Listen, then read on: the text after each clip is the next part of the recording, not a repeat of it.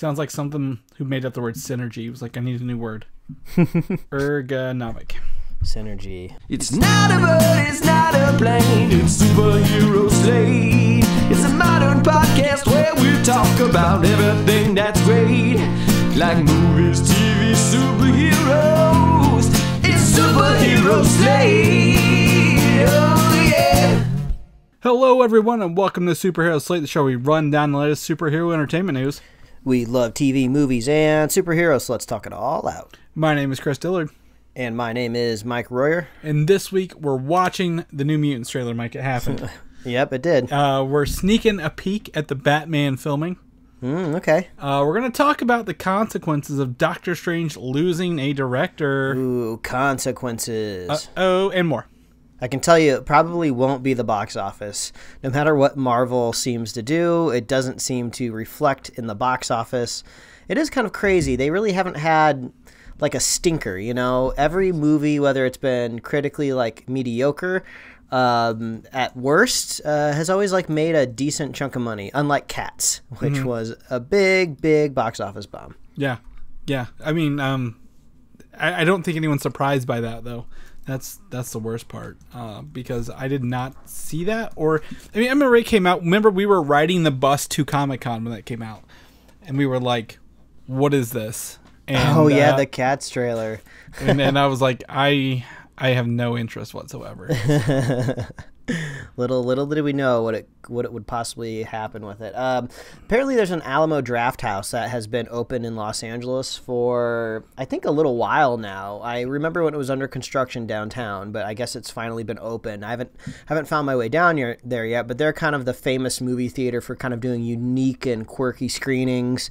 Um, Alamo, of course, that means they've been out of Texas, so I don't know how many theaters are outside of the state of Texas with Alamo, but I guess they do um, rowdy screenings of cats at that theater. So if you want to go to a sc- screening of cats and just like just be just an annoying person that sings songs and yell at the screen, uh, the Alamo Drafthouse has you has you um, has exactly what you need.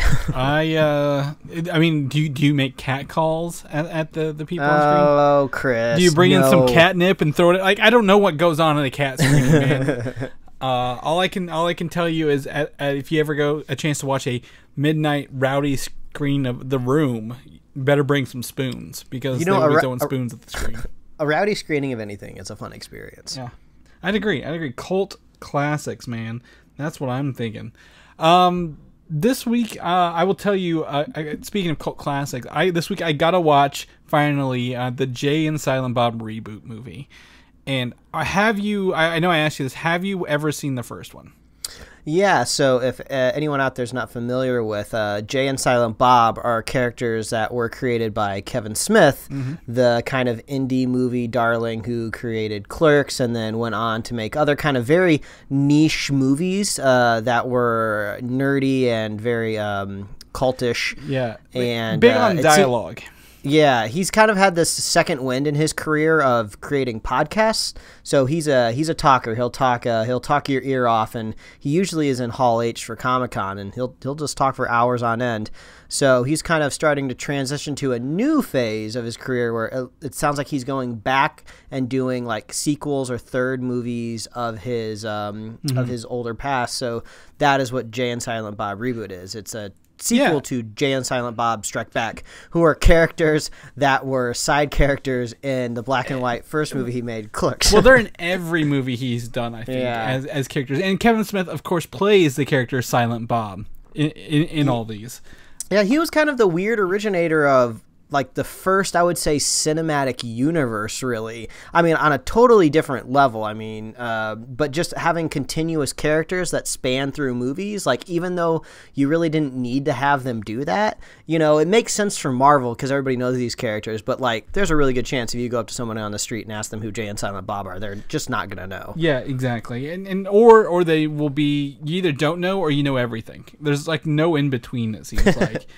Um but the reboot is is recently I think it was crowdfunded Even I, I don't think it was. Uh, I don't. I don't think it was crowdfunded, but they're doing a unique thing where they're touring the movie. So Yeah. you can't. You can't just even if you're in a big theater, like uh, even if you're in a big market, like I'm in Los Angeles. I don't think I can just like Google this movie and go watch it just like right now if I wanted to. You have to get tickets to the tour where if you're watching the movie, you watch it with them, right? Like Kevin Smith was there at your screening, right? Yeah, yeah. They they essentially went. Um, the, the, the movie is a road trip across the country to Hollywood. They did the same kind of thing with the movie. So, um, and I will tell you, if you like the first one, you really have to like it.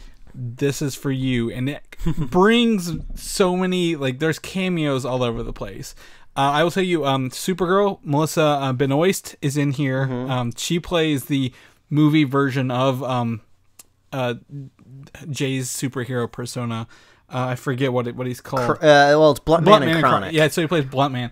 She she does that, and then Val Kilmer is the the Silent Bob version of that. Oh, great! Yeah, th- that's kind of one of the pluses of uh, being a, a seasoned director in Hollywood. You make a lot of friends over the years. Oh yeah, even Ben Affleck, who has it was known to be Kevin Smith's friend and did all those movies, including Jersey Girl, with him, and then they had like a falling out. So he's back in, and he makes fun. He has like a whole. He's got a. He's got probably the most heartfelt speech in this, but then he makes a bunch of Batman jabs at himself, like from when he was playing Batman and all this other stuff, uh, which was which is pretty good. I mean, it's very self-referential. This one's, I mean, the first one doesn't have heart. It's got weed jokes and like hot girls stealing diamonds. Uh, this one's got more of a heartfelt message, but I mean, I tell you, I really enjoy the superhero comic book references that he he dumps into this movie. So, uh, if you get a chance to watch, I think it I think it's streaming now. Um, I think the tour is over. Um, but uh, it's produced. It was distributed by Saban Films, and they hardcore make fun of Power Rangers in this too. Yeah, yeah. The, his past couple films have not been very good quality Yeah. or well received, but he somehow is able to get financing for these movies. I think he's basically just looking to like break even uh, with his uh, with his film career moving forward. But yeah, he he's a unique guy, that's for sure. Kevin Smith, uh, you're not going to find anyone else out there like him. Yeah, no, definitely. And then the, and then he even he's in the movie as himself debuting and filming Jay and Silent Bob reboot. um, and he they make fun of him uh, for casting his daughter in literally everything he does because that's what he does now. Um, which his daughter is named Harley Quinn Smith, who's named after Harley Quinn. So uh, that that's a fun fact. I don't know. I, I watched this week. I was like, I need something light and and not heavy. So do- dove into that, Mike. Um, and then I also ha- I know you said at the top of the show outside this you haven't been watching the greatest of all time Jeopardy. Um, but I will tell you it's impressive. Those those people are impressive on this show. I don't even watch Jeopardy, but Yeah, so uh, I, I didn't watch it, but the the ending of the week was spoiled for me by some like random Twitter account who said who won. But uh, it was just funny because I know the um, I know Ken Jennings.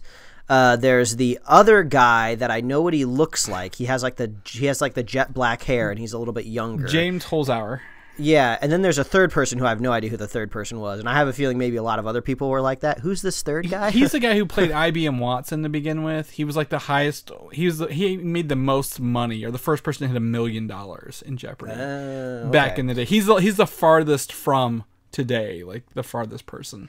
I mean, I saw Ken Jennings had a pretty uh, had a pretty fire tweet the other day because obviously all I'm on all, all I do is I'm on Twitter where he says I'd like to announce that I'm finally following James Hauser on Twitter uh, to to commemorate the following he did to me in Jeopardy all Yeah, week. I was like, oh snap! Yeah, it's very back and forth, and I will tell you for this, I, I've, I've discussed this with my wife. Is I hate the idea of a double Jeopardy or, or daily double in this because it's all random who gets it right, and you can bet as much as you have, or I think a little more. Um, so you could easily someone could accidentally or, or you get it and be pushed ahead by like a far long shot rather than actually seeing who knows more and can play better in the long run. Um, that's the only thing I wish they took out of it. But I, I mean, there's no definitive winner yet. It's, it'll go into next week, but it's definitely been interesting because Alex Trebek had to say bitchin' for one of the questions uh, or answers, and that was a very fun experience. So Um, definitely been a, been a good time. I'd recommend that if anyone needs some some weekday stuff. Uh, and then CES was this week, uh, Consumer Electronics Show 2020. Uh, lots of stuff came out of this. Mike, uh, we've discussed. I finally saw the trailer for this. The upcoming streaming service, uh, Quibi. Ah, Quibi, yes, the the infamous streaming service that is going to be mobile only, uh, created by ex Disney president, or maybe technically he was CEO, uh, Jeffrey Katzenberg. They finally kind of showed off how the app is going to work and what the content's going to look like at CES. They were kind of like the flagship keynote. I think they were like the very first keynote of of the of the show this week and uh, it was it was it was interesting for sure. I don't know if this type of content is for me, uh, but they have some uh, these neat things that they can do. Obviously, you can like time lock the stuff, which is what uh, Spielberg wants to do. So he wants to make a creepy show that you can only watch when it's nighttime out. So obviously, if it's a mobile only uh, app, it's going to know where you are when the sun sets and stuff like that. So you're only going to be able to watch the show at night. So I thought that was kind of clever. Um, also, they kind of showed off the the rotating text. So this is one thing that I uh, some people were saying, well, this is Quibi. It's mobile. Uh, it's mobile entertainment. So everything is going to be vertical video, and just all the content is going to be made vertical video style. But then I also heard people saying like, well, no, there's no reason that you can't do horizontal video and just like turn your phone and watch it. Kind of the main gimmick was Quibi stands for quick bites. So every episode is going to be 10 minutes or less, and then theoretically your show or season or movie could be as many parts as you want it to be. So uh, what they're doing now is now they're giving people the ability to do uh, both vertical and horizontal. And you might be thinking, well, how does that work? Like, why would I want to watch like a cropped version of the movie or show that I'm watching? Because whether it's originally filmed vertical or originally filmed horizontal, if you turn it one way or another, it's going to get cropped no matter what.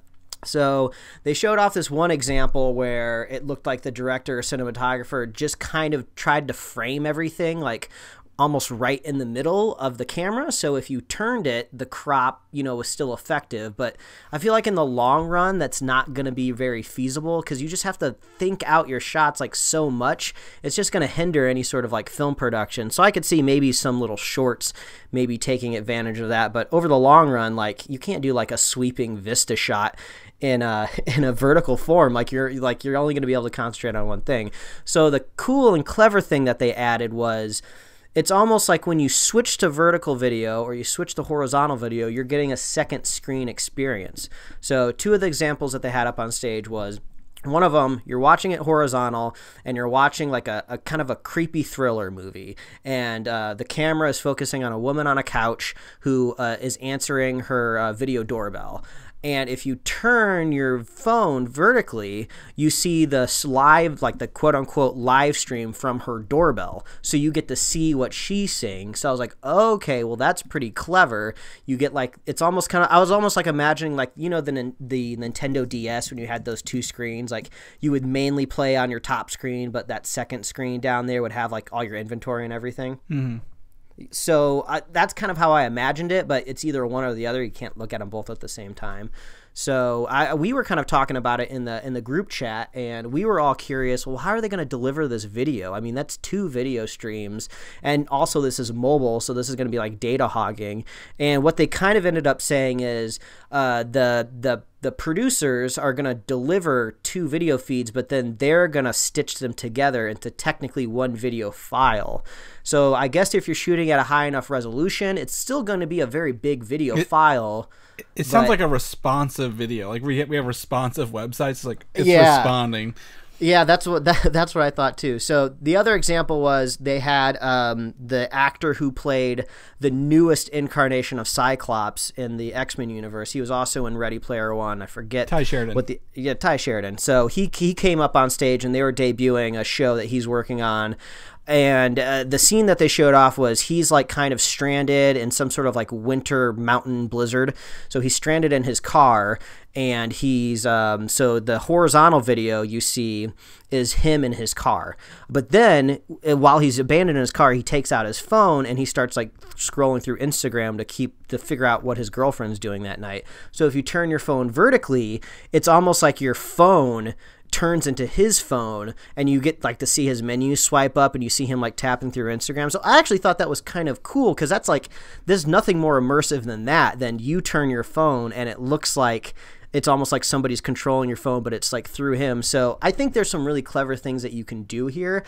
I am just not sure if I'm the type of person that's going to invest in this second screen because I'm I'm I'm like the type of crazy person that's gonna get like anxious watching this stuff because I'm be like, oh, do I turn my phone now or now? What am I missing? Oh, I should turn my phone now. No, I got to turn it back because I think I missed something else. Like, like if you've ever played a video game where you have to like monitor a bunch of security cameras, like like tech like Five Nights at Freddy's or something like that to check out anything that's going on. Like I'm just t- constantly cycling because I want to make sure I don't miss anything. So I feel like it's just gonna freak me out. But I thought the tech was cool, and this is at least something new in the entertainment industry.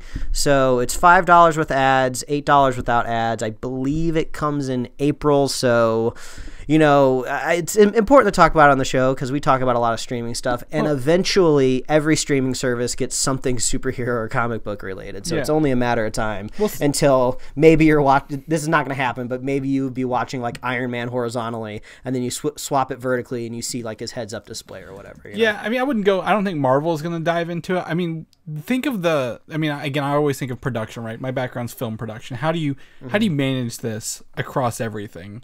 will people producers will the cost be too much to like ah we don't need to do both we'll just pick one and say hey stick in this mode kind of thing mm-hmm. but also you know I, I agree it's it's it's a lot to to do but the thing that turned me off is when you said there's a price to it i'm like wait i have to pay to watch ads and this content.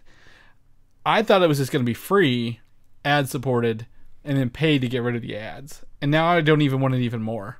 I'm like, I, there's nothing, there's no reason I would pay five dollars to watch quick bite content uh, on this on the service so far. So yeah, well, I mean, it sounds like I'm the I'm the Quibi shill right now. It's just only because I think it's uh, cool. But yeah. if it makes you feel any better, they actually specifically pointed to the amount of ads that you would see per hour, and they said for every hour of streaming, you're only going to see I think they said like two and a half minutes of ads. So compare that to an hour of cable television. You know, you're looking at like you know a very minimal commercial so but well, still the fact that you have to pay for it is kind of crazy so we'll see if it takes off i don't know just like every other streaming service or any other video game console uh, cough cough stadia you need some sort of like killer app for people to want it so if they get that killer show you know who knows maybe we might be talking about quibi more yeah I don't think we will. I, I mean, number one, I mean, you, you, you use you know cable as a thing. I don't have cable. I haven't had cable since I ever.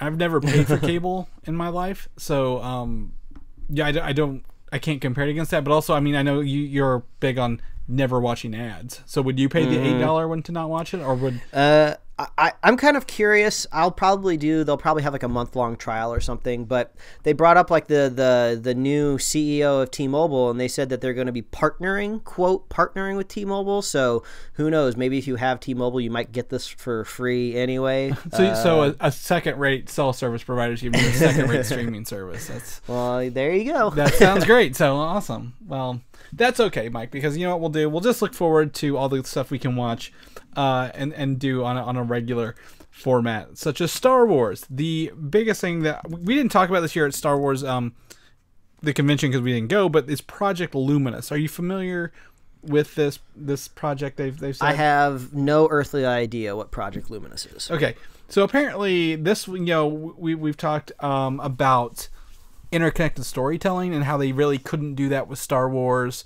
Uh, you know, trying to transfigure everything into the 40 year old you know story right they can't mm-hmm. do that so at at, at uh, the star wars um i forget what it's called the convention they have every year um, they are doing what's called project luminous which is the interconnected storytelling not really to anything skywalker saga but of star wars properties and there are rumors that the first one for that will actually be a video game in 2021 uh, that um, they're making i think it's maybe a first person or third person game that's not the the Fallen Order Star Wars game, but a, a different one.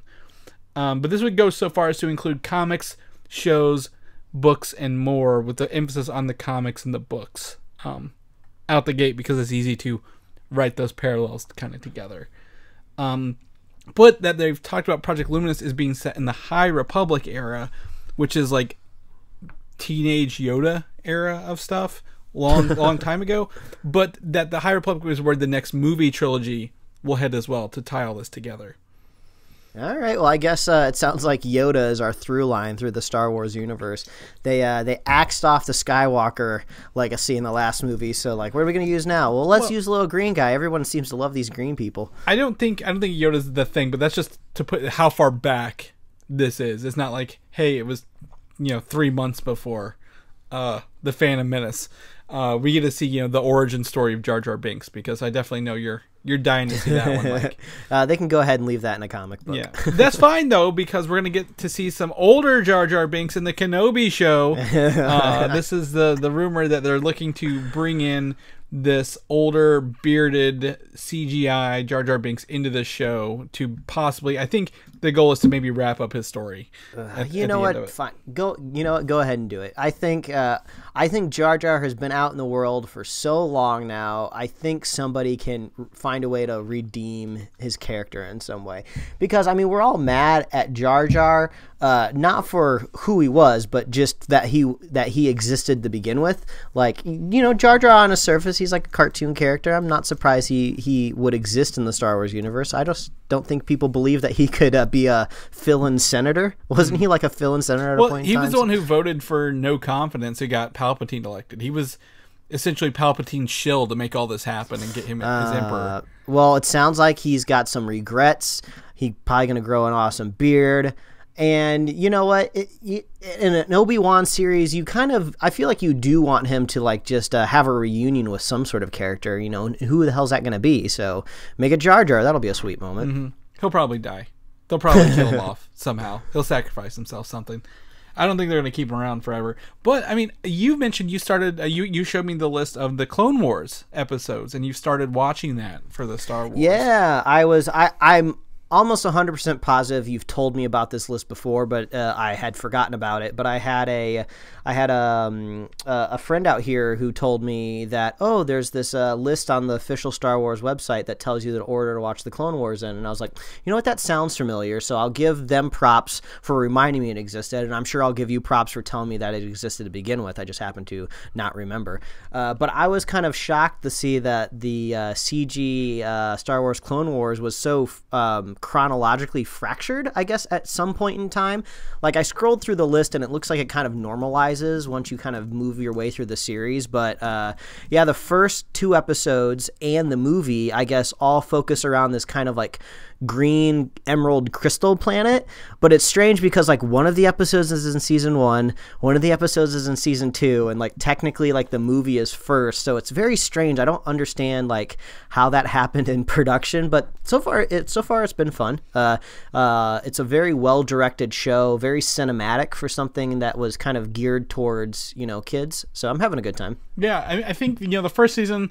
You, you've watched the movie, right? Because you said you were watching the movie. i'm i'm like halfway through the movie because it's the hardest thing to watch. It is. oh. it is the lowest point of the show. The the whole I show. mean, it seems to be pretty much, I guess, on par technically with how it looks.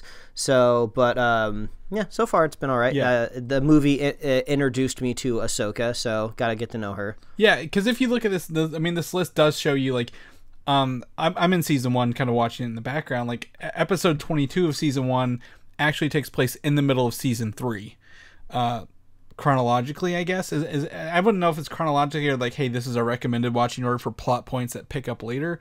Um, but you know they do do uh, you know just to tell you, you watch Earth's Mightiest Heroes, right? They do some they upgrade the CGI for more motion uh, and detail, but they also give the characters some upgraded looks as the series progresses as well. So you're not looking at the same outfit, the same like Ahsoka looks so young in this, uh, and I'm used to her like older model um, as she ages up. So um, I, I definitely I, I think there's some some great things here. But I've been watching the background. I really uh, have enjoyed myself going back to it as well. So um, I'm glad I'm glad you are, Mike. I'm glad you're having a good time. You don't sound down on it, so that, that's a plus.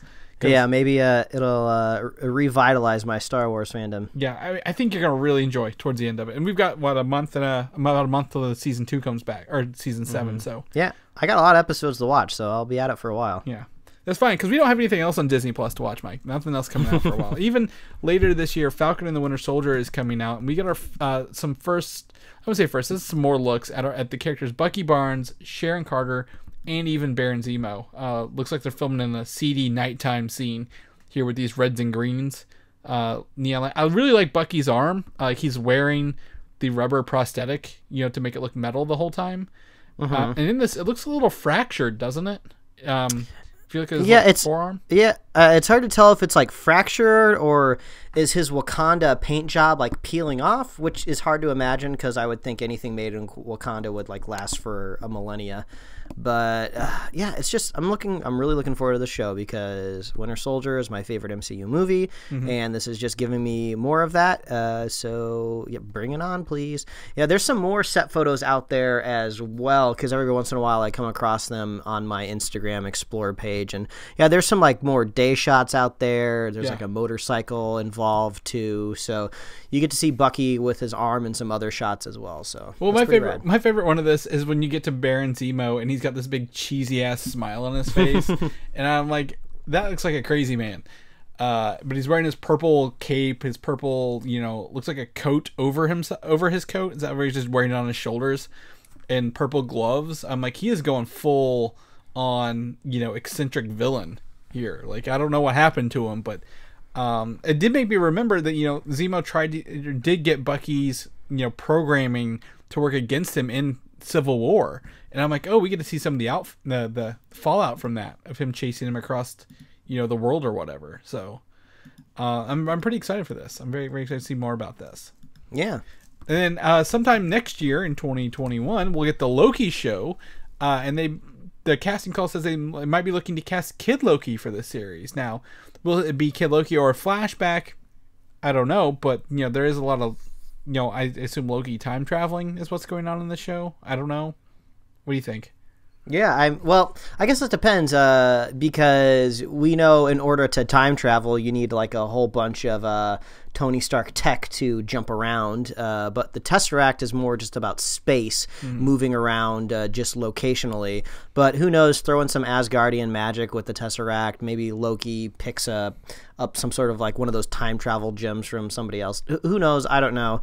But uh, flashback, sure. Yeah. So I mean, um, I guess if we want to learn more about Loki, there's not much of a future for him. You know. Um, Yeah, he's dead, people. He ain't coming back. Yeah, he died pretty early on in Infinity War, and that's like been two years ago now. So Oh man, being being on social media and also being a person that likes these comic book movies, like like I said earlier, you get recommended stuff in your feed, and every once in a while you come across like these huge Tom Hiddleston Loki fans, and I saw someone the other day who sincerely thought it was bad storytelling to redeem Loki uh, at the beginning of Infinity War and then kill him off. They were just like, no, that's bad storytelling. You shouldn't have Loki finally redeem himself and then kill him off. You know, he deserves better. Bring back Loki. And it's just like, no, it's not going to happen. didn't he redeem himself in every movie he was in except yeah, he's Avengers? always he's always doing that shit. He Yeah. he he he uh he was digging his own grave his whole life. Yeah, you never know what's. I mean, he really at the end of Ragnarok was him going to get the the the headpiece to kill, you know, Hela, like, and that was like five minutes before Infinity War started. So, I don't know. Those Loki fans, they're they're hardcore. uh, first rumor now denied uh, was that Hawkeye, the production on the show was delayed indefinitely. Um, so it's not going to happen, but they were saying that it was changes to the MCU story necessitated the production delay. Like they wanted to get some larger ongoing plot points introduced first. Hmm. They're not even talking about filming this till like late 2021. So I don't know. Everyone was like, we don't know who came up with this rumor, but there's no way it could be delayed. And if it is, it's like a month or two. Yeah, and if all of these are rumors, and if none of this is true, I wouldn't be surprised if something like this happens at some point in time. Because when you're dealing with just movies, when Feige just had to deal with the movies, you know, you're talking about uh, like th- juggling like at most like three scripts a year. Uh, but now when you start to throw in movies and streaming ser- and streaming shows, and each streaming show has like you know six to eight scripts per that, yeah, there's a, there's a lot more going on over there. So I wouldn't be surprised if at some point in time maybe something does need to be delayed or pushed just so it makes a little bit more sense. Uh, we'll just have to cross our fingers and hopefully uh, nothing bad comes out of that. You know. Well, I think you know they've moved up an entire. You mean one division a whole year, uh, and then they added three more shows in, and you know what was it? Miss Marvel's possibly in production in April, so they may rearrange the release dates, but like not like it's going to be huge. I don't think it's going to be like Hawkeye delayed for three years kind of thing. So Yeah, I mean, this is just like making dinner. You can't if the if the potatoes aren't boiled yet, you can't make the mashed potatoes. So, uh, and people want to eat on time, and uh, we uh, in this household, we we are very bad at uh, throwing uh, dinner parties and having food ready on time. So, uh, I understand how hectic it can get in the proverbial kitchen. you guys sound like you're the reason they created courses for menus. so the first course was this was done first, so this is your first course item. Yeah, eat your mashed potatoes. The gravy will come out in 20 minutes. Yeah. I, I understand you might want it together. It's just not happening Yeah, today. well, I mean, it, we're in 2020 now. You, we eat them separately, very much so. uh, there also was talking about Hailee Steinfeld has a deal with Apple Plus Television uh, for a show there, and then if they wait a little while longer, she'd be more o- open up to her schedule for filming to really lock her in as the Kate Bishop for this role. Well, she should probably hitch her wagon to uh, Marvel and Disney over Apple streaming, uh, because anybody, anybody out there, please tell me if you watched that Jason Momoa uh, show. See, I have not heard a single soul yet. I did. And it I was, think it was I, called Aquaman, but that's a different kind of sea. I feel like every other week I'm asking people if they watched that show yet, and haven't heard it. Haven't heard anything yet. Well, it, they give it away, and I'm not even watching it. I got a new phone for work, and they're like, "Here's a free year of Apple TV." I'm like, "No, thank you. I'm fine. I've got better things to watch." So, we'll keep you posted on the Hawkeye situation for sure. Kevin Feige out here making the rounds, making people's dreams come true. Mike. Uh, apparently, he's in talks with ABC to develop a mysterious new Marvel TV show for the, you know, over-the-air network television channel. Um, and ABC says conversations about what a Marvel and ABC show with Kevin Feige might look like are going on now. So would this be like, hey, these are characters we could never use, have them Yeah, because I we don't need to fit them into our bigger plan. I mean, honestly, I was kind of looking forward to the shows leaving network television, uh, just because uh, Kevin Feige just keeps telling us these these streaming shows, these are premium, these are primo movie quality stuff here that integrates into the MCU. So if you're making like something that's going to be on television, I just I don't see how you can get excited about it. You know, I mean, it could. I mean, it could be. I mean, it could be one of those things like, um, ancillary. I mean, this could be like an Agents of Shield thing, but more, more like, hey, we can actually reference things because we know the Marvel schedule for the like the next three years, kind of thing. Rather than like Marvel TV, like, well, we just got to make things up as we go here. We we don't know what we're really doing. I mean, unless they are going to try to do something maybe a little bit more premium and off the beaten path, you know, maybe not the cleanup crew type of idea that was in production and then got shelved because we all saw, saw Powerless. Was it called Powerless? What was it Yeah, called? What was uh, it? yeah, it's powerless. Yeah, No, um, well, they got canceled before it even like got off the ground. It felt like. yeah, so uh, you know maybe they'll do a, a similar tangential idea to where they don't have to deal with it too much. But uh, I just don't want to see any more 22 episode orders for a network Marvel show because that's you're just stretching that budget uh, a really long mile. So just do kind of like what you know NBC is doing with like The Good Place and some other shows. Like just do like eight episodes or something like that. Right, exactly. And then you can make that work in your schedule a little better. They're like, hey, make these episodes and then release them rather Mm-hmm. Yeah, than and also make them and every also- week.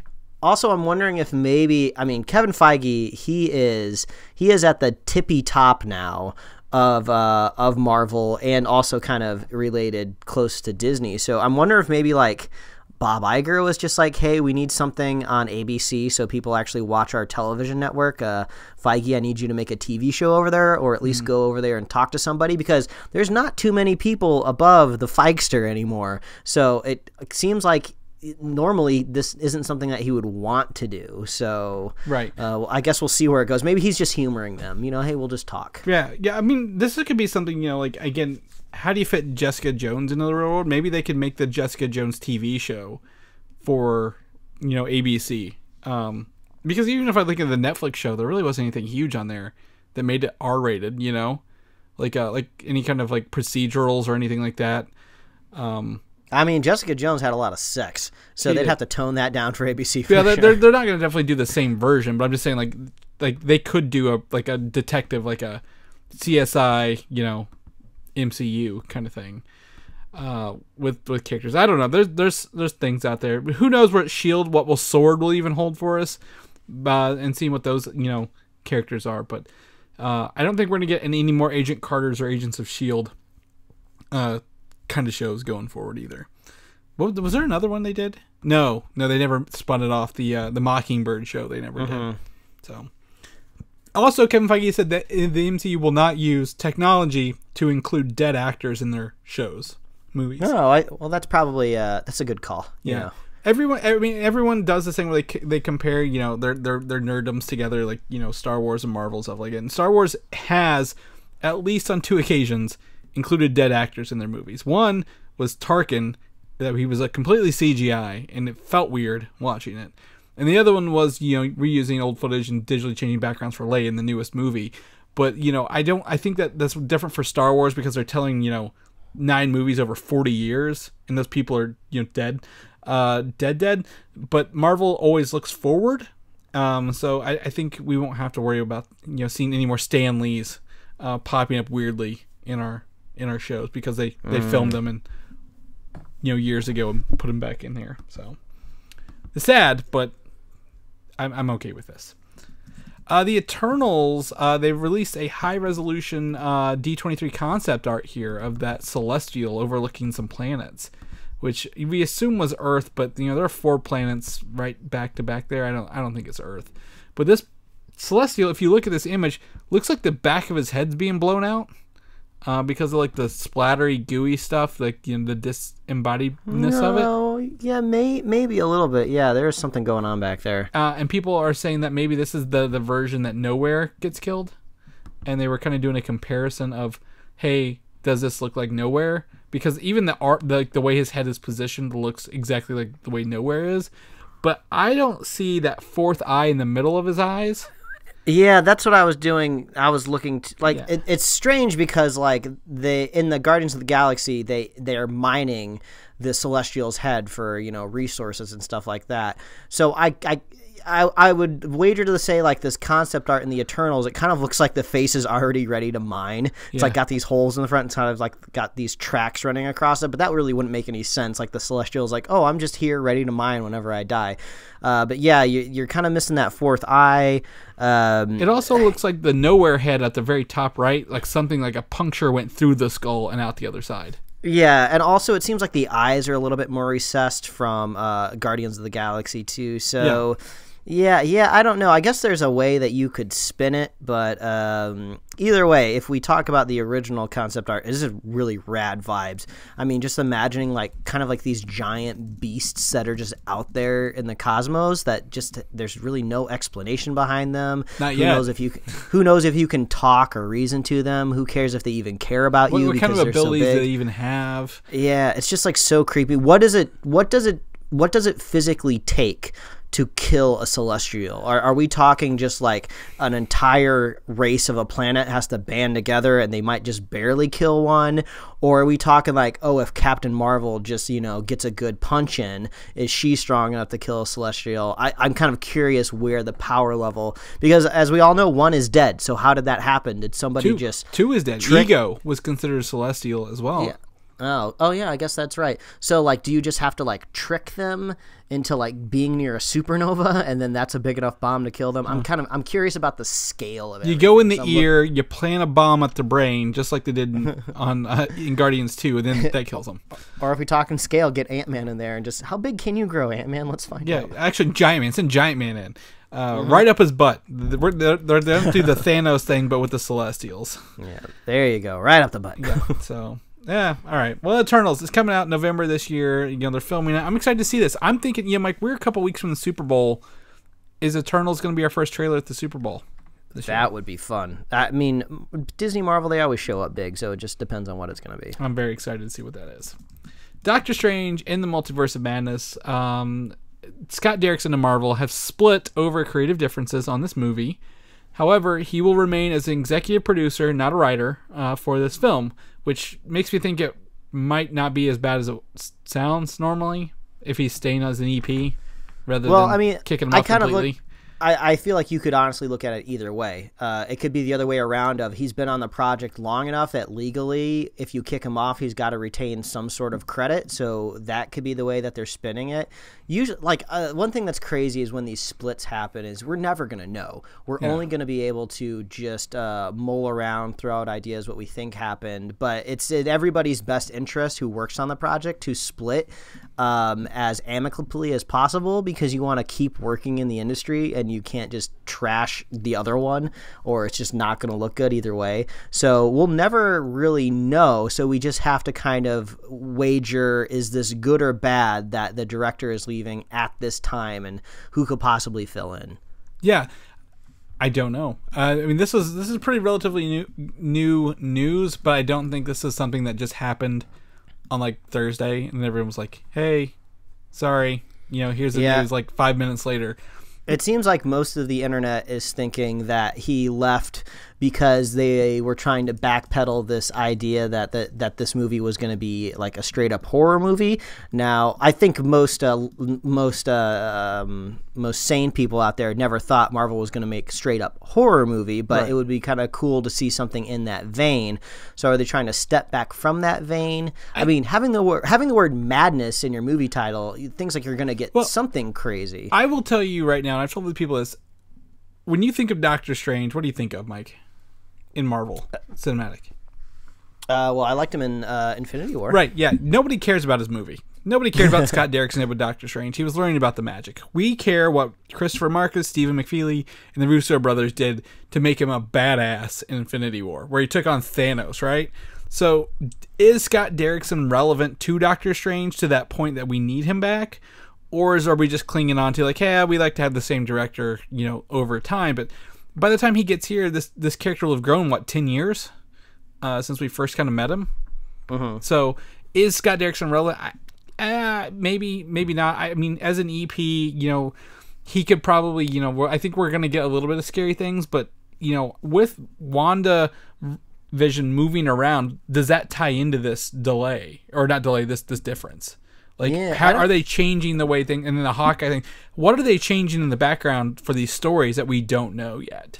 I, I I'm just curious who they'll replace him with, and I just hope it's not another. I just hope it's not like a yes person. You know, somebody who only has like maybe one or two movies under their belt, and they're just gonna listen to what uh, their bosses tell them to do. I would like to see them bring in somebody with a vision to kind of um, appease the worried masses out here that uh, a director just left. So obviously this would never happen because I feel like he's attached to everything, and then he drops out. But you know, somebody like a Guillermo del Toro or something like that, somebody with the um, with the pre- with the uh, with the preference to kind of like the horror and the creepy, and then somebody with like a proven vision. I don't think he would, uh, I'd put him on Blade again. Oh yeah, I mean that would be cool. I don't. I, I feel like Guillermo del Toro is not looking to, to play nice Yeah. in a cinematic universe to begin with. He, he seems to like to do his own things. He's the type of guy that wants to start his own cinematic universe. That worked so, out but, really you know, well with Pacific Rim. I will, I'll tell him that. I, well, I mean, it started. He should have.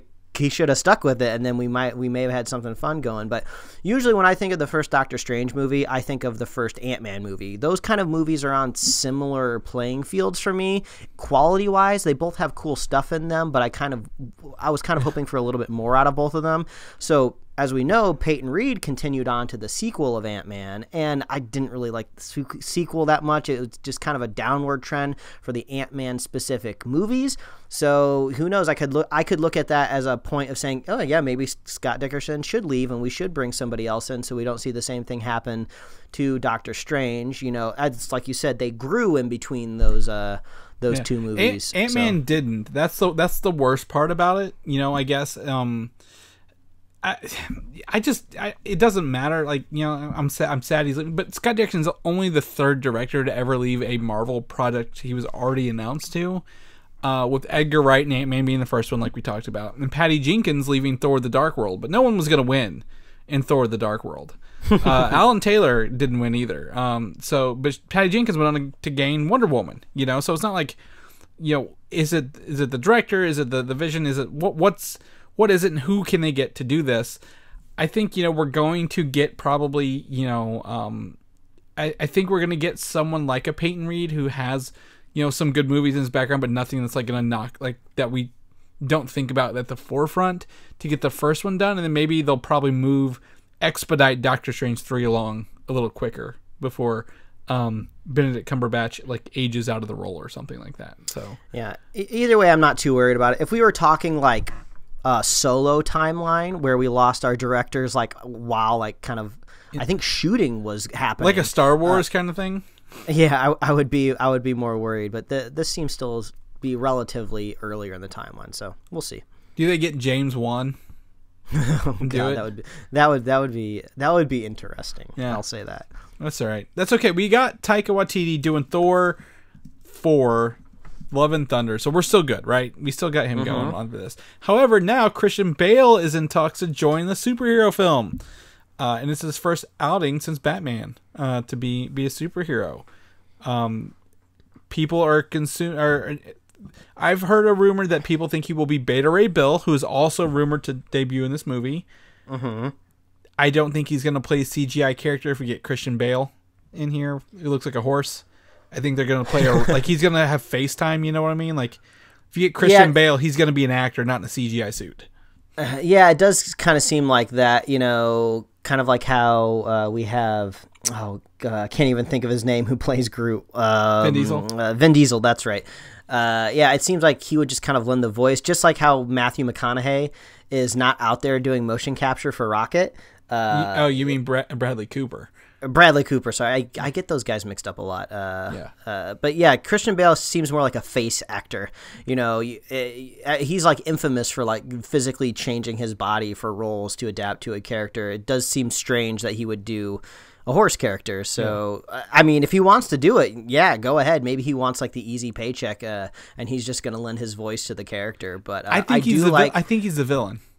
Oh yeah, I mean that could be that could be. I, he, He he's has a- pretty villainous. he has I mean a- he's inf- he's infamous for losing his shit on on set. Exactly. He's always played the hero, right? Like, you know, he's probably looking for something different.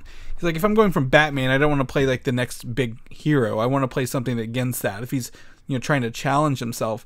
So what if, I mean, I, there's a character in the comic books called Gorr the God Butcher, um, who has this necro sword and his his, his goal is to go out and kill gods across the universe or deities. Um, and, um, that would be really cool for him to play that character instead. Uh, Yeah, of- of any sort of any sort of like sword that kills God sounds really rad. Yeah, and the Necro Sword was created by Knull, who's actually the god of the Venom symbiotes too. So it's like in the Marvel comics, it's like a whole thing. So that sword is pretty awesome. uh, it's actually the same sword that killed Knowhere, that that cut his head off in the comic books. So Hey, it's, It's- all coming together. it's got some history in there. But I mean, I'm yeah, Christian Bale's gonna probably be the villain. I really want to see Beta Ray Bill. I'm a huge fan. I've been a fan for a while, so hopefully they bring him in here and give him a, a hammer worthy of of uh, you know his him being Beta Ray Bill. Um, but also we've you know like I said we've got um what's her name Natalie Portman's returning and uh, Tessa Thompson as Valkyrie is returning as well. So a lot of moving parts on this Thor movie. I'm very excited to see how how wild it gets. But now we're going to talk about what everyone's really kind of wanting us to talk about, Mike. The new Mutants trailer. wow, The second Yeah- one in two years. Yeah, we left off the last podcast saying this is coming the next day. If only we recorded on Mondays and not Sundays, we could be talking about the New Mutants. And I think I said maybe quote, "I've never been so excited for a trailer." So. I, I, I don't know. I think I was just expecting a lot because, like you said, it's been a while since we've heard from this movie, and eh, I mean, there's there's some stuff in it, but I feel like I'm just kind of left with the same feeling when I originally watched the movie of like, okay, there might be some fun stuff in here, but uh, ultimately, I feel like it's all going to be moot because none of this is still none of this is going to continue even after watching this trailer. Well, there is no guarantee that it won't continue. They could make it work because nothing in this says again X Men or anything like that. And a lot of these characters, I mean, I would you know they could be B characters, whatever. I actually had a really good time with this trailer. I mean, the, the horror, like when we talked about Doctor Strange not going full horror, their horror elements are still in this. I feel um, jump scares. There's like what a screaming sound that converts into like a door squeaking at one point for uh, Maisie Williams. It's like that claustrophobicness uh, of it. Everything's dark. This whole I think this whole movie is set at night. It looks like, isn't it? Like that's what it feels Well- like. It's snowy in well, nighttime. Yeah, well, I mean, we'll talk about some of the new characters that popped up in this, but if you want to see them, you got to crank the brightness on your screenshot of your phone. If you want to see them, it is it is Right. dark. The the the one the one plus side about this, I don't remember if we brought this up last week or not, but I think it's been reported that the director uh, he's he's saying this is the movie that I wanted Yeah. to make. So uh, there was we talked about reshoots a while ago. Uh, it seems like they were trying to fix things. I guess those reshoots have possibly been thrown out Ye- by now. So he said like this is my original vision. So worst comes to worst, we're at least seeing what the the director wanted Yeah. us to see. Because Fox wanted to to reshoot some stuff, I think, to make it fit in a Dark Phoenix or something like that. Mm-hmm. And then, well, that didn't really go over well for anybody. And then they got bought. So I'm, I think, I think Marvel's like, well, we don't really want to spend any more money on it. If anything, I think the effects look good. I really enjoyed Magik's soul arm and like her metal arm and her soul sword with her portals. I'm actually surprised they include all of this uh, for this character in here. And uh, like you talked about, the villain of everything is Demon Bear, uh, who is ha- haunting Mirage, which is um, the main girl there. Uh, you, she gets a lot of face time in this trailer. Um, and I don't know what he looks like, but I will tell you the thing I, I was looking for, and uh, or I, I saw at the end there is Lockheed, the purple dragon from the comic books, who's known for hanging out with Kitty Pryde, is flying around in this battle at the end. There, it looks like. Yeah, it, it does look like we see a little bit of a dragon. So, okay, so we got like a dragon, we got like a, a mutant bear. So it's like, where are these things coming from? I mean, I, I've always been like a fan of the character of Kitty Pryde, and it's been cool that she's had like um like a dragon as a sidekick. But it's like when it comes to like a live action movie, how, how do you explain this little dragon that exists? I'm kind of curious he's an, how he's they an do that. alien in the comic books, but this one, like a Magik, has a. In the first trailer, we, we I had to go back several years to watch this first trailer. She's holding a fl- um, a stuffed version of a purple dragon. Is is Dani Mirage's power to I think to bring dreams to life or something like that? So is she turning Oh. some of these things to life in this? Th- there's really not a lot of story points here, other than the fact they're trapped in this insane asylum and they all wear the same outfits. So I think this is like a long weekend.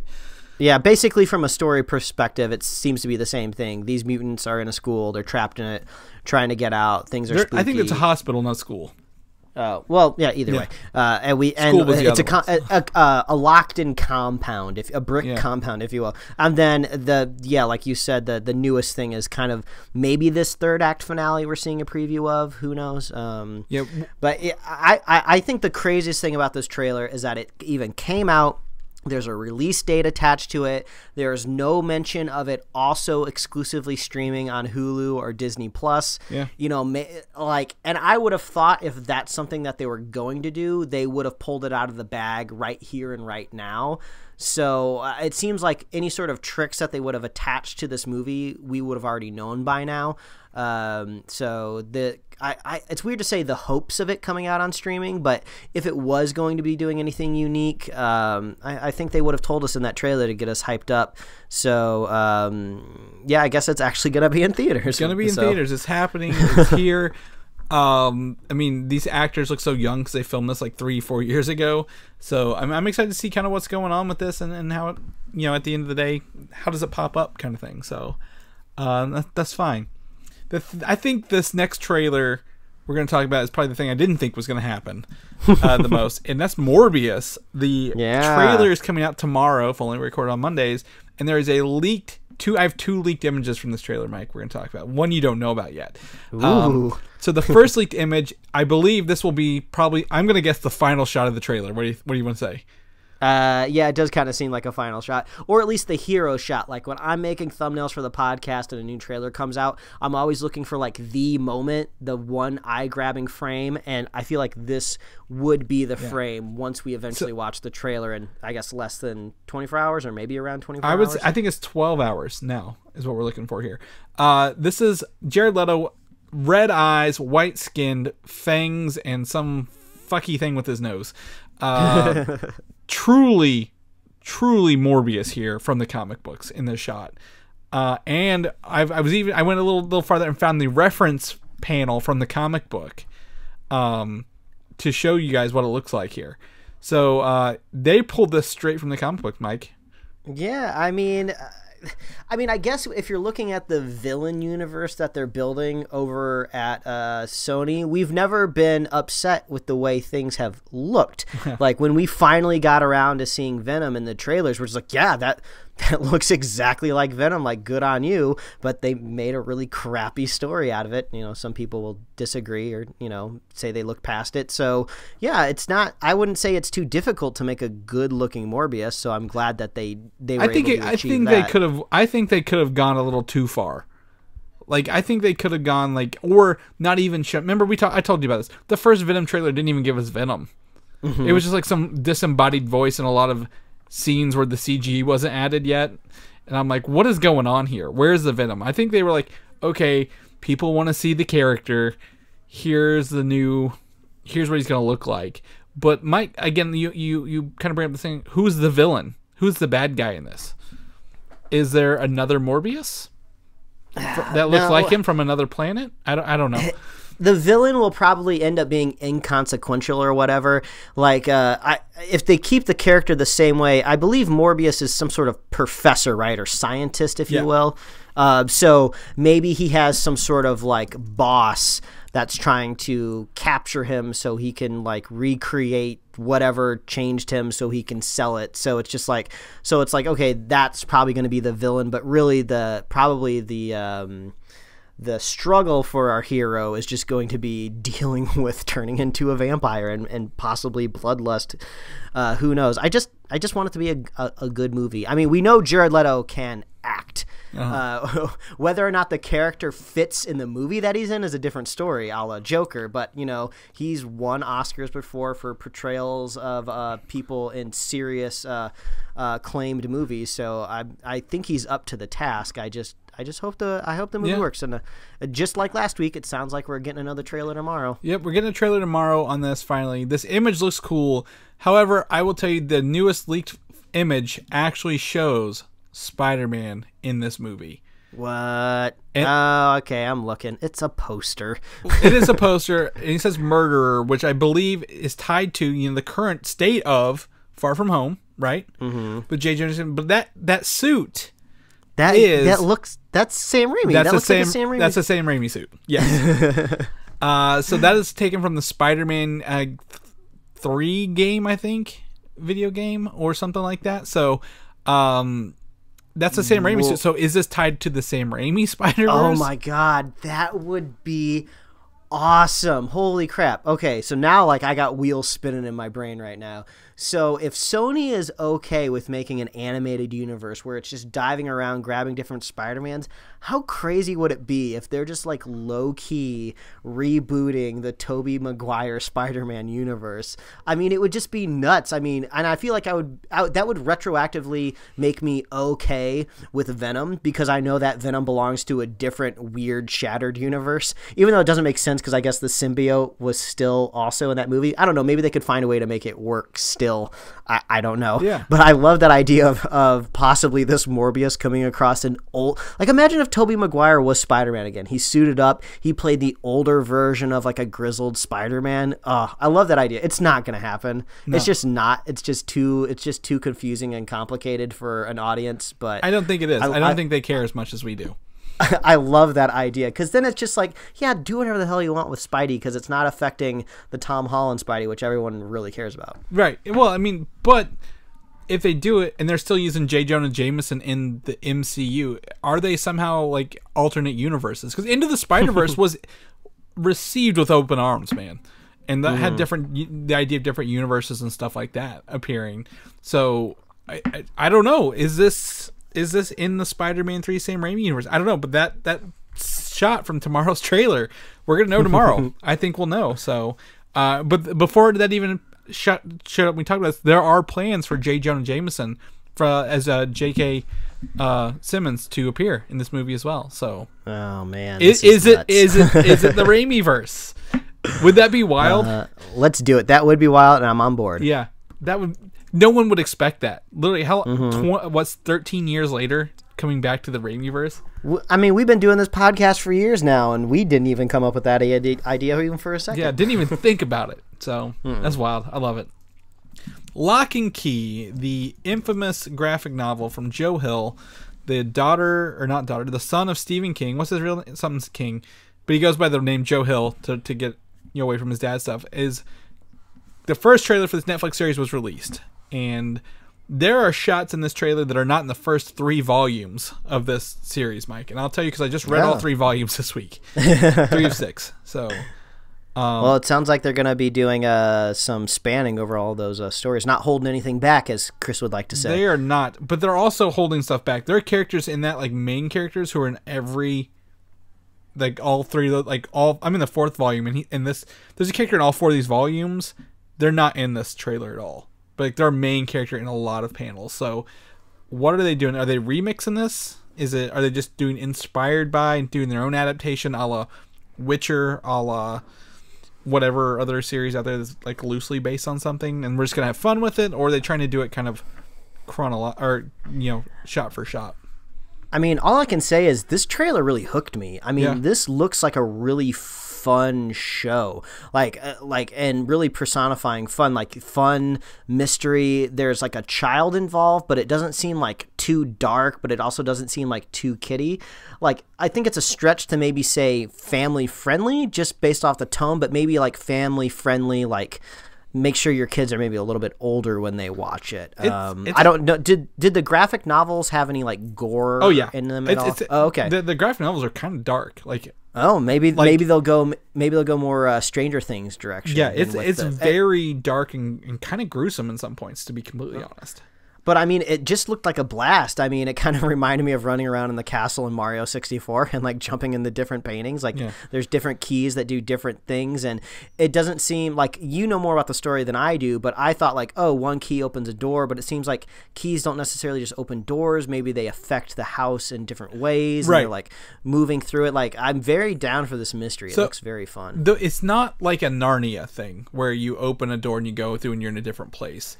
Uh, Mm-hmm. a door or an area will open up, like a, a cupboard. Well, there's in, in the comic, there's one that lets you change gender. In the com- it's a cupboard. You open up, you walk through it, you come out in the other room, you're a different gender. Uh, back and forth. There's one uh, we see in the trailer called the Dead Key, the Dead Door, where if you unlock the door, normally it's a regular door. If you open it with a key, you walk through. Your body dies, and you're you're able to float around as a spirit, and then come back into your into your body. Or um, I think someone else came back in somebody else's body at one point. So um, there's that. There's a, a in the, a just you know there's hundreds of keys, but what I remember there's a gigantification key. So you open it. It's a big key. You open it. You walk through. You're a giant now, kind of thing. Uh, and then there's one where you open up your head. You can put information in or take things out of it as well, which is a big part of the comic books. So you're gonna see some keys, man, and they're gonna do all sorts of crazy stuff in here. I was promised keys. Yeah, yeah, it's in the title. But uh, th- this house um is, is called uh, it- well, it's funny because it's in um, uh, what's that uh, Lo- the the town's called Lovecraft, and I'm like, well, that's kind of on the nose, isn't it? I'm like, that's really really on the nose. But yeah, I'm I'm still kind of going through it. And th- there's a, I think in the trailer, do you see the shadows chasing the kids? Like they're like yeah, shadow there- creatures and shadows chasing. There's them. like a, there was a moment where like a door opens and you see some sort of lanky black creature on the other side of it. Some shadows chasing them around. I, I'm excited to see kind of what's going on here. So, uh, I'd recommend the books. I, they're not they're not my favorite. There's a lot of dialogue in some of them. And I'm like, I don't want to read all this. I'd rather just you show me. So It's almost it's almost like a novel writer's son wrote it. yeah, it's some of it's very dialogue heavy, and some of it just jumps around. Like the volume four, they just start introducing keys like this because you already get the concept down. So, um, yeah, I'm gonna be I'm gonna be playing with it. The, the, the book has wrapped up, so you don't have to go figure anything else. But February 7th, Friday on Netflix next month. On that same day, though, you're just going to be competing with the Birds of Prey and the Emancipation of One Harley Quinn or whatever it's called. Uh, and we got our second trailer. Can't believe it's only the second trailer for the show or for this movie this week as well. Uh, really kind of setting home that horror rating in this trailer. I believe they're shooting bags of cocaine, and Harley Quinn takes a huge hit uh, huff of it, and then goes to town beating people up. Yeah, uh, uh, this trailer seems to cement the style of the film a little bit more. It seems like it's going to be very dynamic, lots of really loud colors. Uh, we're not going to sub- be subdued, really, in any sort of like dark alley Yeah. uh, for very long. Uh, kind of similar to the New Mutants trailer. Uh, I f- we're just I feel like we're just getting more of the same. So I'm still interested in this film. I'm still going to see it. It piques my curiosity. But the I I didn't like I didn't uh, complete the trailer and just go like, whoa! I gotta go buy my tickets to Birds of Prey now. Because they're not on sale. I looked. well, if they were, so you know, I'm, I'm curious. We'll, we'll see. Margot, we'll see how it. See how it Robbie is selling this movie for me, right? She's really into the character here. I think a little more, and not the weird Suicide Squad version of her. Um, like you kind of see some of the Harleen Quinzel where she's talking about how revenge doesn't, you know, doesn't give you the catharsis that you think it's gonna give. I'm like, oh, I see her, and then she goes back to crazy, uh, and then um, the Mary Beth Winstead as the Huntress is really selling it as well. I think her anger issues are really funny. Uh, and lastly, we get to see Black Mask is he's wearing the mask. Ewan McGregor wearing a black mask, like his name is, uh, in this movie, which I think he's going to be fun. I, I want to see him play a villain role. I don't think we've seen him be evil yet, have we? In anything? We, I mean, we we love Ewan McGregor on this podcast, so that's that's a plus. Yeah. But it also does that thing in the trailer where it syncs the violence with the music, where she's like smashing people in the car and just like to the rhythm of the music, and I'm like, I hate this. I hate this. The editing. rhythm, the the rhythm is going to get you, Chris. Don't you know? Yeah, the rhythm of the night. Uh, but no, we, we always talk in our group chat. You know, our, our uh, friend of the show, Quentin, he's like, when they do the the gun shooting and the cocking to the music, and I'm like, they did the same thing here. And I'm like, ah, poor editing choices, but that's fine. the Batman filming right now, Mike. We've got some set photos. Uh, I showed you this earlier, where it looks like uh, uh, Robert Pattinson on a motorbike outside what probably is Wayne Manor, if I was guessing. Man, they even gave him a little box to stand on, so he seems taller on the motorcycle in that first shot.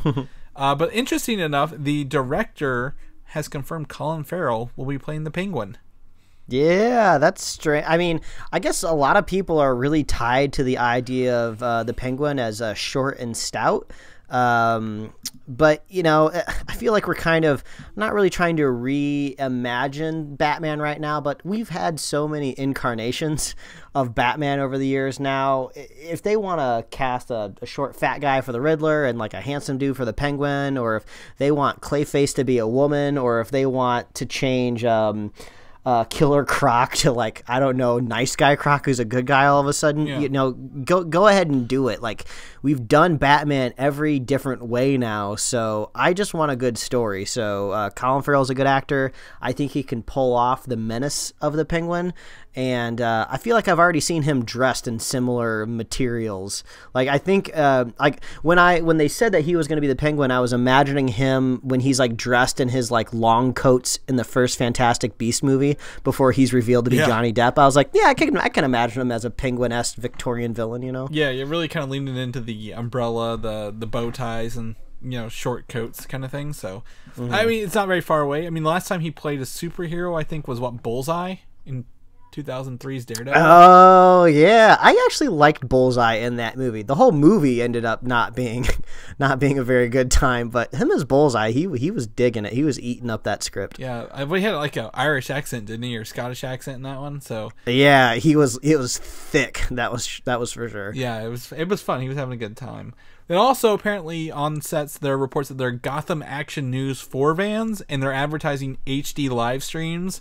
So this puts the movies like more in the modern times than previously thought. People thought it would take place like the 80s or something like that, like a prequel Okay. kind of thing. So, So like, so it's it. We're talking this decade. I mean, I guess you could date it as like the 2000s, but I don't know if this is just me being an old man. But I don't ima- I don't envision the the the 2000s, the aughts as a decade that's recognizable or nostalgic enough yet to like base a movie in that time. It just seems hmm. like if you're going to do the aughts, just either take it down a decade or bring it up the current time. The, so. the problem is, do you tie this into the current DCE universe and replace an older Bruce Wayne played by Robert or not Robert Ben Affleck, or do you just put it like you know like said 10, 15 years earlier, and be like, yeah, this is the same Batman, but you know he hmm. was in the 2000s. Well, if it has the word HD live stream, they're using the word stream. So this could be 2020, 2021, totally up to date. Well- and maybe their news department is now running around with like Facebook Live, They wouldn't- trying to get the story as it happens. They don't. They don't.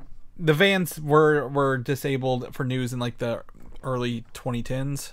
Uh, they mostly just carry around like little, you know, like mobile hotspots now because I work with my boss. You work for TV, and my video guy work for TV, so I, I know this stuff. So if they're using vans, it is it's the 2000s for sure. So that's why I'm I pulling think this out. I think the I think the van is iconic enough that it's going to stick around for a while in cinema, even though it's uh not necessarily necessary. But yeah, when you when you want when you want like a stand-in for the public of Gotham to show up and witness something, bring in a news van instead of like a, a bunch of crowds of people on. So yeah, either way, either way, we're saying it's not the '80s. yeah, exactly. this is not like a weird old older version of Batman, so uh, or younger version from a long time ago.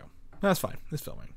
But Warner Brothers making lots of questionable decisions, uh, and they will reportedly be using what's called Cinelytic AI to greenlight films and testing it, which uses prediction software for profit and loss across all mediums, including streaming and cinema, and it's based on like star power, what territory it's in, keywords, all this other BS.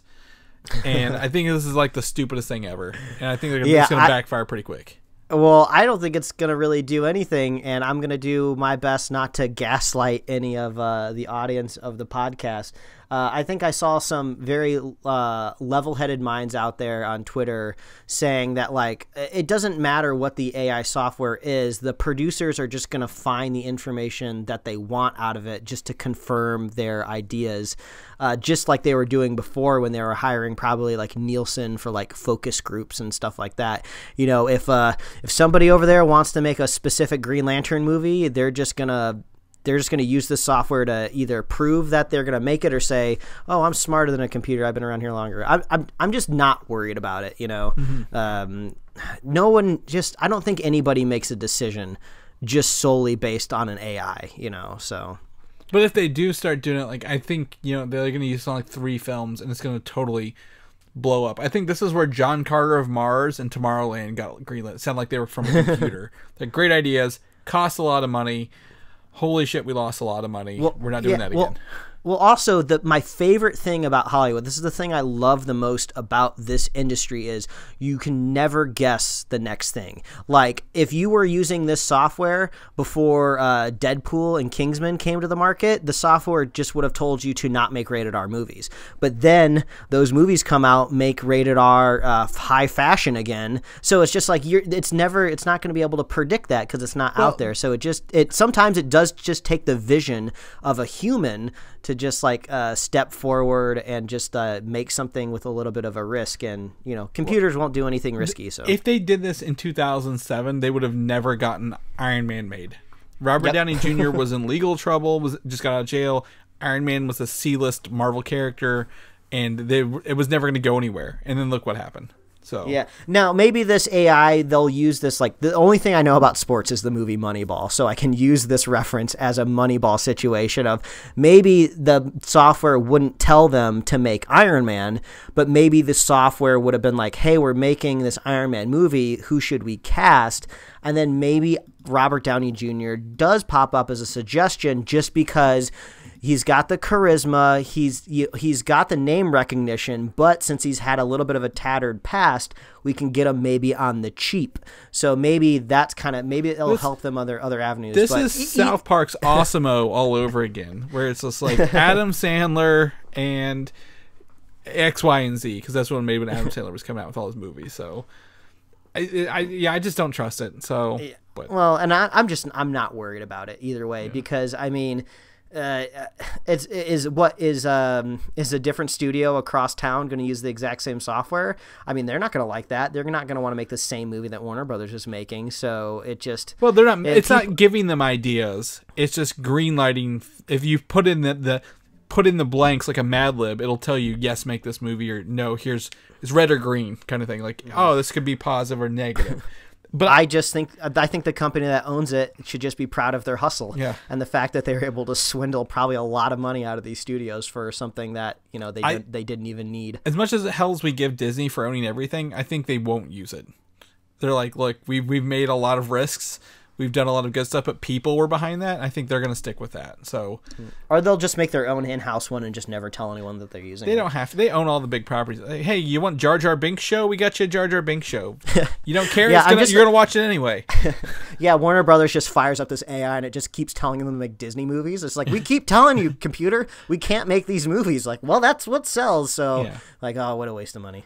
So yeah, so yeah, we'll we'll we'll see where this goes. We'll follow as as it comes out. But like clockwork, the CW has probably did the same thing, and they greenlit almost every show for another season next year, Mike, including The Flash, Supergirl, Batwoman, Black Lightning, and Legends of Tomorrow. Which I'm surprised Legends is oh. still going. Yeah, I mean, uh, my uh, my wife used to be connected to uh, that studio for a little bit uh, a few years ago, and she was always telling me how uh, Black Lightning, not Black Lightning, I mean like Legends of the Tomorrow was. There was a lot of ebb and flow, and when a season went in, there'd be a lot of people over there like kind of curious if they were getting another one. So good for Legends of the Tomorrow that they're sticking around, making something unique. Good for Black Lightning. I think this would be their third Yeah. season, if I remember right. So good for them. Um, Second for you know, Batwoman. Who who knows? Maybe some of these uh, survive the chopping block because Arrow was ending, so they're just like, hey, we got room. Split some budget up. They'll have to create a new one to make up for it, though. They make a new one every year. Every every year's Mm-hmm. got a new season. So I wonder what the next one's gonna be.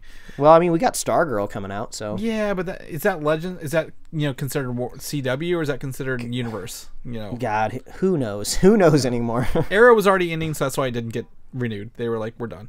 So Mm-hmm. that's it. Also, just for the SEO purposes, Mike, um, CW is also gonna redo Riverdale, All American, Charmed, Legacies, In the Dark, Roswell, New Mexico, Nancy Drew, and Dynasty. All right. I mean, uh, we're um, oddly fans of Riverdale in this household. We just kind of keep up with it to see what kind of crazy nonsense they're doing with those uh, kids. Uh, the show is approaching their high school graduations, though, so I'm curious. Uh, what they're going to do to keep the kids in this town, or who knows, maybe all of a sudden there'll be a university in Riverdale that we weren't really familiar with, and they'll just all go there. Who knows? Yep, exactly. I'm interested in. I'm surprised Nancy Drew's still going on, but I've heard good things from people who do watch Nancy Drew. So, oh well. Lastly, Avatar, not the last Airbender, the show, the movie that now sits at number two at the worldwide box office. Mike, uh, James Cameron or the studio, I remember who released some concept art from the upcoming sequels. And I thought I'd share this with you guys. Um, Oh, you want a fun, uh, a fun little anecdote? This concept art was released at CES during this very weird uh, conference where they were actually announcing this electric car that teamed up with Avatar. Nice. So, so they were calling it the Avacar. I don't know if that's just what. God, I'm so glad I didn't hear this now. I don't know if that I don't know if that's just what the media is calling it, but it was just this weird kind of concept car that uh, like had scales on the rear end of it, and the scales would move to talk to other cars. And I don't I don't know what car company teamed up with them, but I think basically they just wanted James Cameron on stage with them so they could just talk about Does this the car go that- underwater? I don't I don't think it does. Well, then, I don't know think why you he's up there. If it didn't go, I don't think to I don't think you want to put an electric car underwater. But right but he's now. he's all about the bottom of the ocean, Mike. So I don't I don't know what he's doing down there. But either way, I think there is ocean in every single one of these pieces of concept art, actually. So uh, That'll tell you where the second one's going then, underwater. yeah, it's been a million years since I've seen the first Avatar movie, and we've promised our audience that we're going to rewatch it once the second one uh, gets a little closer to release. So I don't remember a giant planet looming in the background. So I don't know if is that Pandora two? Is that a second planet? Are we going to be planet Well, hopping? I will tell you after going to Disney and doing all the Avatar stuff there, right? Um, Mm-hmm. All of this is very very familiar to the rides. Um, Mm-hmm. So the first one we got, you know, two Na'vi, which I assume are the two main characters overlooking like a like a shallow lagoon kind of thing. That looks great. The second one is the nighttime. It looks like there's some like green algae in these like levels of water here. But you Yeah, talk about the planets. I don't remember there being other planets either. Yeah, it, and it, it seems to be a focus in three out of the four of these. So Yeah. maybe there's some uh, uh, rare, super rare unobtainium on this Ma- other planet. Maybe there's a, uh, a a arriving faction of aliens on the other Well- planet. It did we not go to this side of the planet in the first movie? It's my guess. Yeah, I mean, uh, are we gonna? Exp- uh, I just don't know. It's been so long since Yeah. I've seen the movie. I can't intelligibly talk Well, about it. But I'm looking forward to rewatching it with you at some point. The third one is very much reminiscent of that ride, uh, the flight of passage ride. That's like they strap you in and they fly you on one of these little flapping beasts, which looks really cool. And the last one makes me look like are these natural rock formations or is there something about this planet we're gonna learn, like that something was here beforehand and that makes everything float. Mm. Yeah, I mean that was the iconic thing about the architecture, and I think they tried to recreate this down at Disney of those those floating rocks that I'm sure they used vines to make it look like they were floating, but the, the vines were actually holding them up from Yeah. some of the photos that I've seen. So yeah, I don't know. Maybe this is just like the whole nature spiritual aspect of the planet that just makes things float. they probably don't. They probably don't have to get into it, but yeah, the the formations are really cool. Is- it looks like some sort of blast kind of came through there. Exactly. Is that other planet pulling gravity towards them, and that's why things are floating? I don't know. but the mm. circular, this blasting looks like it could line up with that planet. Is why I bring that up. Oh, maybe it's like a ritualistic place yeah, or something. something like that. I don't know. I, I think we're gonna learn something about this planet that you you know we've talked about a little bit. So. Uh, I think the concept art looks cool. It looks a little samey, but you know, whatever. Avatar, At the- if anything, was pretty. At the end of the day, don't doubt James Cameron. I guess you could prob- probably doubt the movies he's executive produced, but every movie he's directed has been good. I, I don't think anybody can really. Uh, uh, I don't think Avatar is good. I don't think anybody can debate his box office return, or I guess successful I will- the, is the word I should say. I will tell you, I have been looking into this, and the there are no more like the value and the the showings of 3D showings have reduced tremendously since the first Avatar when 3D was on the rise, which made it have all the box office it did, um, because the upcharge for 3D. So I don't know if this will do as good, but hopefully they release them all very shortly back to back so we can just get this done with. It's my hope.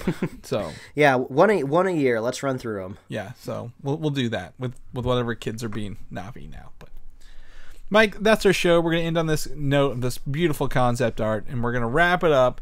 Uh, if people want to know what you're doing, what's going on, where can they find you at this week?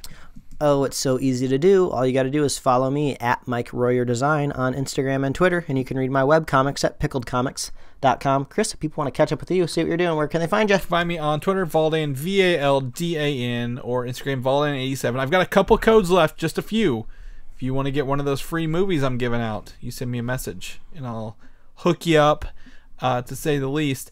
Uh, people want to know um, what's going on. Next month is C2E or C2E2 for me, by the way, Mike. I want to remind that people have been reaching out and want to meet up with me there. I will be there. I'm looking forward to seeing everybody. People know all of our other shows, and next month when we do the Harley Quinn Birds of Prey review, where can they find all that stuff at? Oh, all you got to do is visit superheroslate.com. That is the best place to find all the avenues we host our show and to get our awesome show notes. So, we got a lot of blue links in this document here. So, you'll going to want to check out those show notes so you can see everything that we talked about this week. And you can find us on Apple Podcasts, YouTube, Spotify, and wherever else you love to listen to fine podcasts. You can like us on Facebook, follow us on Twitter and Instagram, and get merch at superheroslate.com slash store. We love hearing from you, so please reach out and let us know how your 2020 is going. What are you looking forward to? What do you want to see us talk about that maybe is not on our radar? We love to we love to know what you guys are thinking of. And if you want to be a super fan of this show, all you got to do is share the show with a friend, share the show with a buddy, and we will be here every week, Chris. Especially next week with that Morbius trailer you're all so excited for. Mm-hmm. We'll see you then. All right, bye. Thanks for listening, and don't forget to subscribe. Like they're real cheap, so I might get a few, but. Hell yeah, might as well.